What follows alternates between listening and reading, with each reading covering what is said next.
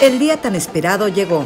Globos, batucadas, mimos, malabaristas, arlequines, payasos y grupos musicales armaron una gran fiesta para celebrar la reapertura del Parque Zoológico La Pastora. Niños, jóvenes y adultos llegaron para ser testigos del corte de listón que estuvo a cargo del gobernador Jaime Rodríguez Calderón, pero sobre todo para gozar de una gran celebración. Fue un día lleno de colores, sonrisas y alegría, y al ritmo de la música comenzó la fiesta. Al ingresar al pueblito, los rostros de los visitantes se iluminaron y al encender la fuente interactiva, los niños pudieron refrescarse mientras jugaban entre los chorros de agua.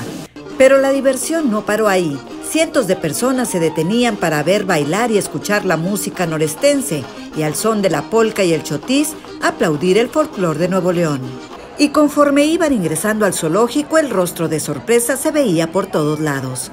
Unos admiraban los elefantes y otras especies animales, mientras que algunos otros aprovechaban para tomarse fotografías en los murales. El zoológico hoy luce un nuevo rostro, renovado, pero sobre todo con un objetivo diferente. El parque es importante para eso. Aquí vamos a dar muchas pláticas de sustentabilidad, porque queremos que todos los estudiantes de biología, de veterinaria, que están en nuestras universidades tengan aquí espacios para poder platicar con los jóvenes, con las señoras, con los niños, a que les enseñen.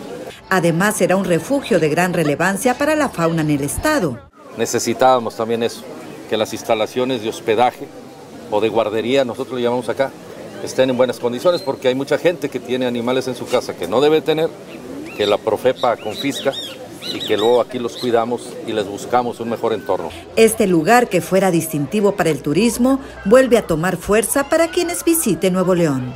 Es un parque ícono de todo Nuevo León, además que tiene un pulmón muy importante en la ciudad y que había que regenerarlo, un poco para que no, no solamente la gente lo disfrute, sino que también toda la conservación de lo que tiene que ver con la flora, la fauna que aquí está, pues también la gente empiece a conocerlo. Las labores continuarán para hacer del zoológico La Pastora uno de los más importantes en la República Mexicana. El plan maestro que está contemplado, obviamente están tres etapas más, este, también está dentro de la etapa un acuario y el tiempo pues ahora sí que es sujeto también a la cuestión económica y tiempo de programa de, de obra.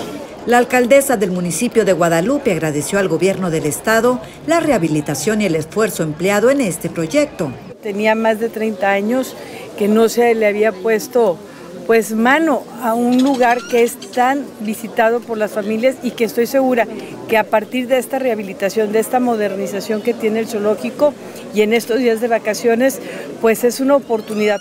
El beneficio que traerá para la flora, la fauna y sobre todo las familias dejará huella como en 1985 cuando se inauguró este lugar. Sin duda estas vacaciones serán diferentes, pero sobre todo muy divertidas para quienes visiten el Parque Zoológico La Pastora. Con imágenes de Santiago Espinosa para Canal 28, Maricruz Gutiérrez.